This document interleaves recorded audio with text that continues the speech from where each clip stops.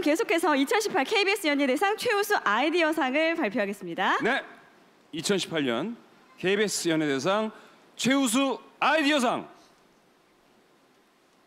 개콘의 이런 사이다 팀 축하드립니다. 와우, 축하드립니다. 개그 콘서트 이런 사이다 코너는 속 시원한 사이다 발언을 통해 시청자들에게 웃음과 공감을 선사하고 있습니다. 와 김현호 씨 잘생겼다.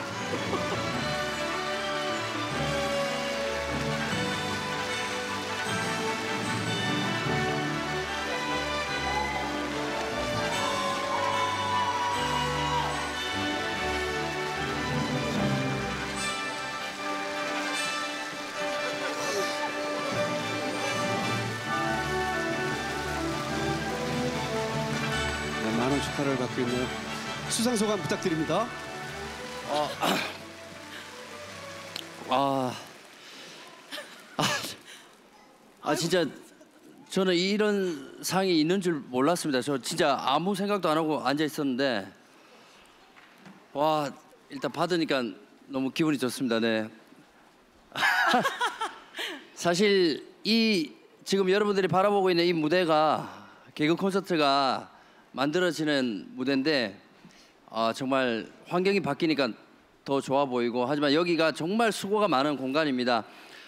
네, 이런 사이다 정말 많이 사랑해 주셔서 너무 감사드리겠고요.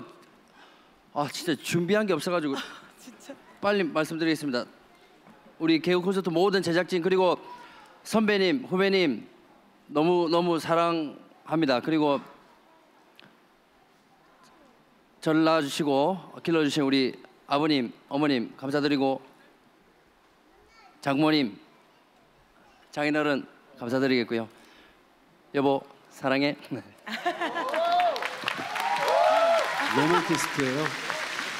아, 저 정말 이 코너상을 받을 거라고는 절대 생각을 못 했는데요. 사실 이런 사이다라는 코너가 어떻게 생겨났냐면 김원효 선배가 대뜸 저한테 오더니 니 내랑 싸울래 이렇게 하시더라고요. 그래서 그게 무슨 말인가 했더니 이제 이런 사이다라는 코너가 있는데 같이 해보지 않겠냐 하셔가지고 해가지고 지금 이렇게 상까지 받게 됐는데 어, 일단 개콘 제작진 분들께 감사드리고요. 저는 또 옆에 있는 저희 원효 선배에게 가장 감사하다는 말씀 꼭 드리고 싶습니다. 네, 감사합니다. 앞으로도 실컷 싸우겠습니다. 감사합니다. 고맙습니다.